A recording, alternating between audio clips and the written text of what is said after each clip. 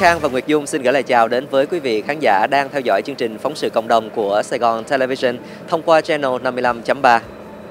Kính thưa quý vị khán giả, không khí mùa xuân đang tràn về trên vùng Dallas Fort Worth của chúng ta. Và khi nói đến mùa xuân thì chúng ta không thể nào không nhắc đến đêm chợ hoa được tổ chức tại khu thương xá Asia Times Square ở thành phố Grand Prairie. Và thưa quý vị, đây là hoạt động thường niên của Trung tâm Thương mại Asia Times Square. Ngày hôm nay Duy Khang và Nguyệt Dung chúng tôi đang có mặt tại đây để à, chuẩn bị gửi đến cho quý vị hình ảnh của đêm khai mạc hội chợ hoa lần thứ 9 này. Dạ, và bây giờ Nguyệt Dung xin mời quý khán giả hãy cùng hòa mình vào không khí vui xuân qua một vài hình ảnh do anh em của Đài Sài Gòn TV của chúng tôi thực hiện. Xuân đã về, xuân đã về, ngàn hoa hé môi cười vui đón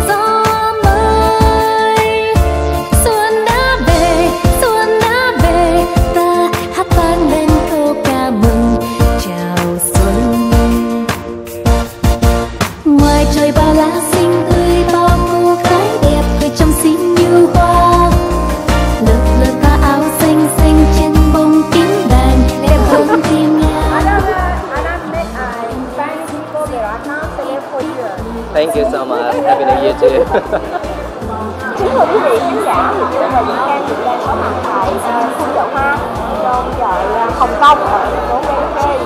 Và quý, quý vị có thể thấy được cái hình ảnh này rất là thân thương, rất là quen thuộc không ạ? Và Dung chắc rằng một điều là thật là khó khi mà tìm thấy cái hình ảnh chiếc xe chiếc lô này trong đời sống hàng ngày của chúng ta. Và thưa quý vị, ngay tại à, khu Ờ, thương mại của Asia Times Square ngay trong khuôn viên của chợ Hồng Kông thì ờ, quý vị sẽ thấy rất là nhiều những cái hàng hóa đã được ờ, trưng bày ở đây để phục vụ cho ngày Tết.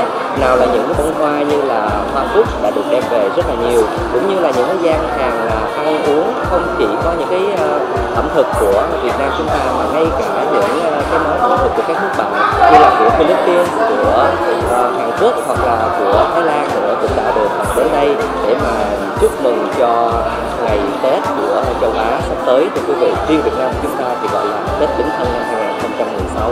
À, bây giờ mời quý vị à, dạo quanh để xem qua những hình ảnh tại khu à, thương mại của chợ Hồng Kông.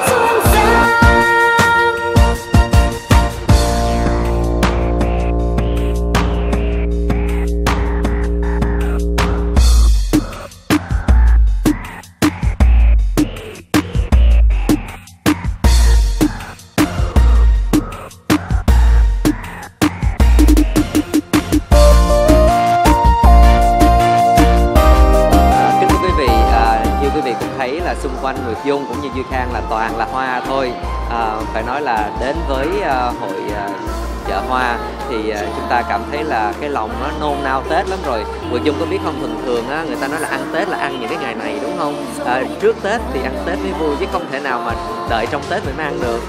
Và chị Khang thấy khi mà mình nhìn thấy hoa đó là mình à, đã thấy không khí mùa xuân đến rồi và hoa như là một cái linh hồn là một cái cảnh đẹp thiên nhiên để trang trí cho đời từ lâu lắm rồi mà không biết là ngay từ lúc nào dân tộc Việt Nam của chúng ta có cái tập tục trưng hoa kiển ngày Tết ừ, thưa quý vị, à, có thể nói là xưa bày nay bắt trước. À, chúng ta cũng không biết là từ khi nào đã có tập tục đó, nhưng mà mỗi khi mà xuân về thì hầu như là chúng ta trong nhà ai cũng có có những cái chậu cúc vàng rực rỡ. À, tại vì màu vàng cũng giống như là đem tới tiền cho mình vậy đó. Tại vì những cái thanh vàng nó cũng màu vàng đúng không? Đúng rồi. Rồi ngoài ra là có những cái bông hoa lan, rồi những cái cây quất như quý vị thấy xung quanh đây có rất là nhiều đủ các loại hoa hết và hy vọng là quý vị cũng sẽ đến với hội chợ hoa tại khu vực Grand Prairie nằm bên trong của uh, Asia Times Square để uh, có thể rinh về nhà những cái chậu hoa rất là đẹp trong uh, thời gian này để chuẩn bị đón Tết Bính Thân thưa quý vị. Dạ, và vì hoa không những à, trang trí cho căn nhà của chúng ta nhìn thấy nó sống động hơn và đẹp đẽ hơn, mà nó còn mang đến một cái ý nghĩa là năm mới hạnh phúc và an khang thịnh vượng Đúng vậy thưa quý vị.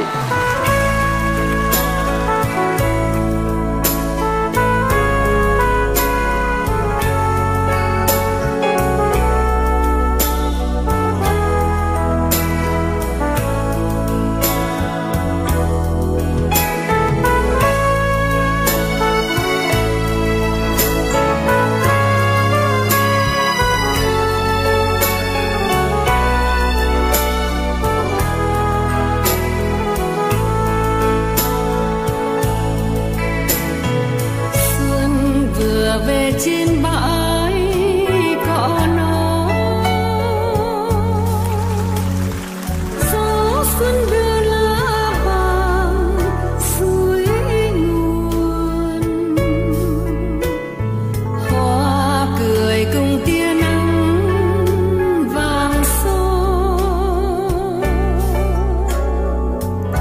lũ ông lên đường à, Duy Khanh xin gửi lời chào đến ờ, cô Ngọc và thưa quý vị, cô Ngọc là đại diện cho cái chủ tiệm hoa đất sét của cô. Duy Khang cũng xin có vài lời hỏi cô.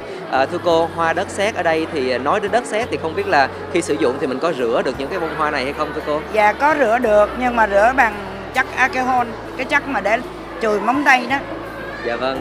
Ở đây thì những cái hoa này thì là mình tự làm bằng tay hay là mình nhập về từ dạ, nơi nào ạ? À? Mình tự làm bằng tay, làm tại nhà luôn mà mình trưng như vậy là mình trưng trong vòng bao lâu? Là nó có bị phai màu hay ở đây không guarantee á là 10 năm không bay màu. Dạ mà vâng. 10 năm không có bị gãy bị bể gì hết. Dạ vâng. Như vậy thì gian hàng của mình phục vụ cho bà con trong dịp tết. Dạ. thì à, cảm giác của cô như thế nào? Dạ tôi rất là à, vui vẻ để mà phục vụ cho bà con trong ba bữa xuân Dạ vâng, à, cảm ơn cô rất nhiều và chúc à, cho cái à, tiệm hoa của cô có nhiều người đến thăm và rinh về những cái bình hoa rất là đẹp. Dạ, cảm ơn uh, mấy anh. À, Nguyệt Dung có biết là đây là món cháo gọi là với tên gọi là gì hay không? À, Dung thấy cái bảng là cháo đúng bà năm đúng không ạ? À, thưa quý vị, à, đúng vậy. À, món cháo này là hầu như là năm nào cũng được gửi đến cho quý vị à, khán giả, quý vị đồng hương tại uh, khu vực uh, hội chợ Xuân và quý vị sẽ thấy là rất là nhiều người đến với uh, quán cháo này để thưởng thức cái món cháo gọi là rất là đặc biệt thưa quý vị. Hy vọng là quý vị sẽ đến đây để à, thưởng thức món cháo này trong những ngày à, giáp tết quý vị nhé.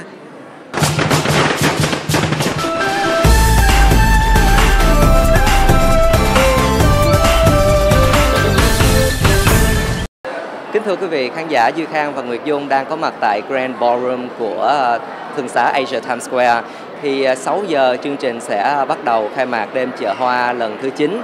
Tuy nhiên bây giờ thì đã rất là nhiều quý vị quan khách đã tề tụ bên ngoài để mà chờ đến giờ mở cửa thưa quý vị. Ngày hôm nay thì quý vị sẽ thấy tại nơi đây sẽ có những cái màn trình diễn của không chỉ nước Việt Nam chúng ta mà ngay cả các nước bạn nữa. Và đặc sắc nhất là cũng sẽ là những cái màn trình diễn gọi là Korean Tea. Um, họ sẽ um, cho chúng ta thưởng thức những cái phần pha trà mà theo kiểu của người Hàn Quốc.